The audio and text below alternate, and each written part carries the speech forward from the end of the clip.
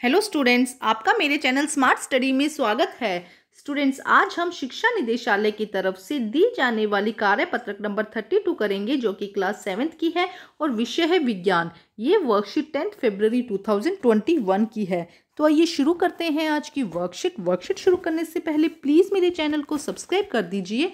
तो आइए देखते हैं आज की वर्कशीट पादपों में पोषण। पोषण के प्रकार। बेटा, ये चैप्टर हम अच्छे से, बहुत अच्छे से समझ चुके हैं। आज हम इसकी रिवीजन कर रहे हैं। देखो क्या कहा गया है। निम्नलिखित प्रत्येक प्रश्न के सही विकल्प का चयन कीजिए। आइए। सभी जीव जीवित रहने के लिए, सभी जीव जीवित सॉरी बेटा, भोजन सभी जीवित जीवों के लिए आवश्यक है, क्योंकि यह उन्हें डैश प्रदान करता है। बताइए बताइए। यस ऊर्जा प्रदान करता है। सब भोजन क्यों ज़रूरी है? क्योंकि यह हमें ऊर्जा प्रदान करता है। नेक्स्ट देखिए क्या क्वेश्चन कहता है। भोजन के घटक जो शरीर के लिए आवश्यक होते हैं, उन्हें क्या कहते हैं? रंजक, ऊर्जा, लाइकेन और पोषक तो उन्हें कहा जाता है पोषक। ये सब आपको आते होंगे जहाँ तक अगर मेरा पढ़ाया हुआ आपने पढ़ा है तो मुझे उम्मीद है कि ये सब क्वेश्चन आपको आते होंगे। तो प्लीज़ कमेंट करके बताइए कि क्वेश्चन आ रहे हैं या नहीं आ रहे। ठीक है?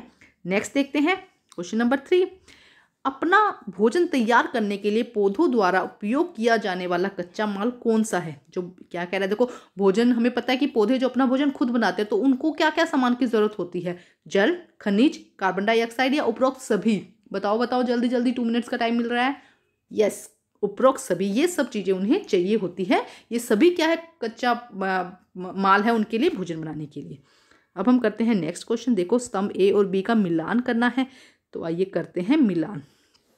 तो मिलान करते हैं तो उससे पहले हम कलरफुल ले लेते हैं। ये आपको पता है कि किस तरह से हम मिलान करते हैं। सबसे पहले विषम पोषी विषम पोषी क्या कहते हैं? किसे कहते हैं विषम पोषी जो दूसरों द्वारा भोजन तैयार करवाता है। विषम पोषी क्या होता है? जो दूसरों का भोजन तैयार करवाता है। तो क्या हो जाएगा?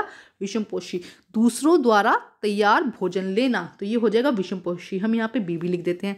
अब देखते हैं कार्बोहाइड्रेट कार्बोहाइड्रेट क्या है? ऊर्जा प्राप्ति। कार्बोहाइड्रेट से क्या मिलती है? ऊर्जा मिलती है तो ये हो जाएगा ए अब देखते हैं स्वयं पोषी स्वयं पोषी क्या है? जो अपना भोजन स्वयं तैयार करता है। पौधे क्या है? स्वयं पोषी तो हम यहाँ पर लिख देंगे, ये रहा स्वयं पोषी ये डी हो जाएगा, ठीक है? उसके बाद में पोषण। पोषण क्या है? पोषण भोजन की विधि, जो भोजन ग्रहण करने की विधि को हम क्या कहते हैं? पोषण कहते हैं। तो ये हो जाएगा इसका आंसर। यहाँ पे ई आ जाएगा। नेक्स्ट देखिए विटामिन विटामिन क्या होता है बेटा? बीमारियों से सुरक्षा प्रदान करता है। विटामिन क्या करता है? बीमारियों से सुरक्षा प्रदान करता है। तो ये हो जाएगा सी का आंसर ये सब बहुत आसान है। एक रिविजन चल रही है। इसको फटाफट करते हैं। वर्कशीट में हमें टाइम भी नहीं लगेगा यहाँ पे ना। ठीक है स्टूडेंट आप भी रिविजन कीजिए अब साथ साथ में।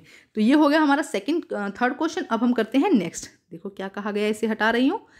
प्रश्न नंबर फाइव अनुच्छेद को पढ़ने के पश्चात दिए गए प्रश्न का उत्तर दीजिए। आइए देखते हैं क्या अनुच्छेद में क्या कहा गया कार्बोहाइड्रेट प्रोटीन, वसा, विटामिन तथा खनिज भोजन के घटक हैं। ये हमें पता है, कार्बोहाइड्रेट प्रोटीन, वसा, विटामिन तथा खनिज भोजन के घटक हैं। इन्हें पोषक कहते हैं। पोषक पदार्थ सजीवों की शारीरिक संरचना, वृद्धि, क्षतिग्रस्त भागों के रख रखाव के लिए समर्थ बना, बनाते हैं तथा विभिन्न जैव प्रक्रमों के लिए आवश्यक ऊर्जा प्रदान करते हैं। तो पोषक तत्व तो क्या करते हैं? जितनी भी शारीरिक संरचना है, वृद्धि है, जो भी क्षतिग्रस्त भाग हुआ है, उसको रख रखाव उसको समर्थ बनाते हैं मतलब उसको इतना कैपेबल बनाते हैं। और इसके साथ साथ में जो जैव प्रक्रम के लिए जितनी भी हम जो डेली के काम चल रहे हैं, उसके लिए जो हमें ऊर्जा है, वो हमें कौन देता है? पोषक तत्व देते हैं। अब देखो, अब क्या कहा गया है? पोषक पदार्थों के कोई दो कार्य लिखो। तो देखो, यहाँ पे बहुत अच्छे से दिया गया है। पोषक पदार्थ सजीवों की शारीरिक संरचना, वृद्धि, क्षतिग्रस्त भागों के रख रखाव के लिए समर्थ बनाते हैं तथा विभिन्न जैव प्रक्रमों के लिए आवश्यक ऊर्जा प्रदान करते हैं। तो ये हो जाएगा इस क्वेश्चन का आंसर फिफ्थ क्वेश्चन है यस जो भी क्वेश्चन है ये, ठीक है? तो बच्चे, आज की वर्कशीट बहुत आसान और बहुत ही क्लियर एकदम सब कुछ समझ में आता है। मुझे पता है आप लोगों को भी सब कुछ इसके अंदर आता था। तो वर्कशीट कंप्लीट होती है। वर्कशीट कंप्लीट करके अपने टीचर से चेक कराइए। और प्लीज़ मेरे चैनल को लाइक कीजिए सब्सक्राइब कीजिए और शेयर कीजिए। Thank you students